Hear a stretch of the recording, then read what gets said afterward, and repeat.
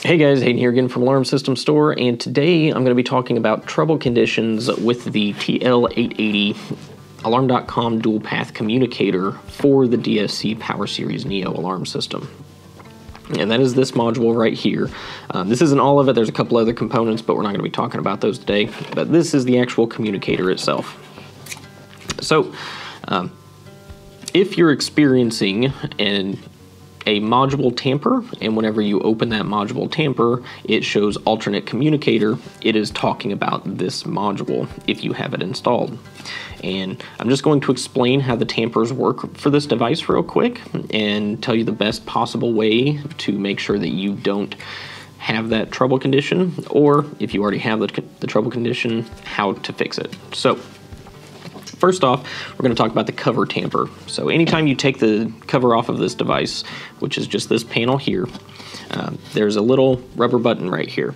And this rubber button, whenever the cover is on, pushes on a little spot on the circuit board, which is that gold square right there in the middle.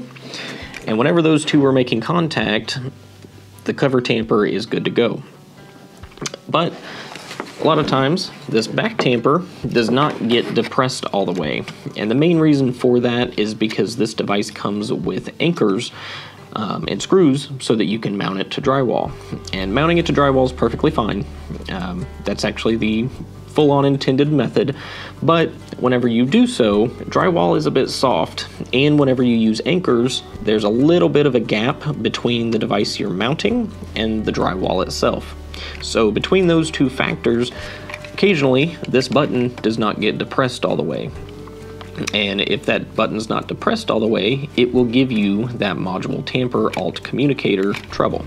So the best way to alleviate that issue is whenever you're mounting this device, find a stud in the wall, mount it where the button is as close to that stud or directly on it if possible.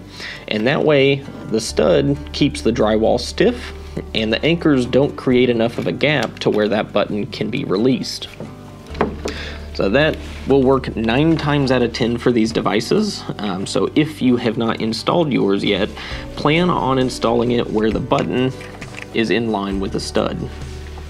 Now, if you have installed yours already, um, you can either remount it, or if you don't want to do that, you're also able to take a little piece of cardboard or some plastic or something and basically uh, stick it behind this button while this device is mounted. So that can be a little little challenging to do. Um, usually, or what I did in, a, in our case, um, I released the two left-hand side screws because I knew the button was a little bit to the left. Um, pulled it up as much as it would let me without, you know, messing up the two screws over here. Took a little piece of cardboard, slid it in behind it, and then just remounted it down. Um, I didn't like shape the cardboard so that it fit the hole perfectly or anything like that. You just have to get this button flush with the communicator box.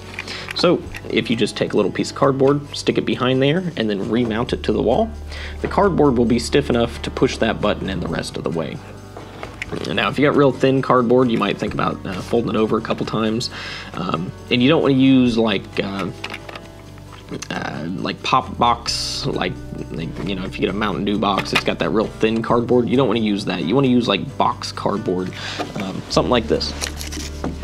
Yeah, this was from my uh, do-it-yourself pressure plate, but this is a box cardboard and it's a little bit thicker. Um, it does squish some, but even though it squishes, it's still sturdy enough to push that button down whenever it's mounted.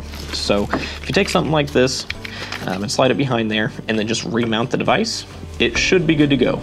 Now, um, if you, you know, continue to have issues, you know, you might look into uh, making sure that the little rubber covers are on.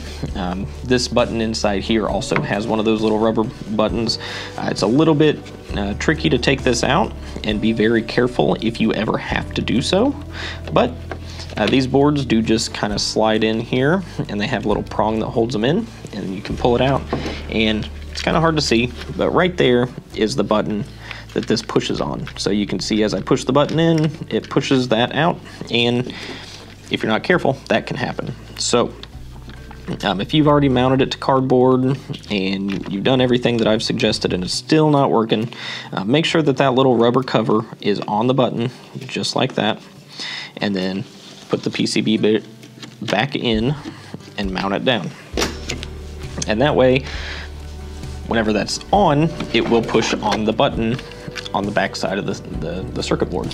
So um, nothing too crazy in this video. It was just a, a common trouble that we run into uh, whenever our customers are trying to install this unit or have installed it already and they get to finishing up the system and they notice that there's a trouble condition and it says alternate communicator, but the cover's on.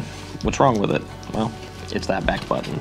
So, um, like I said, if you haven't installed yours yet, best thing to do is try to find a stud, mount that button directly to the stud, and that way you have as much wall force as possible pushing against that button just to keep it level.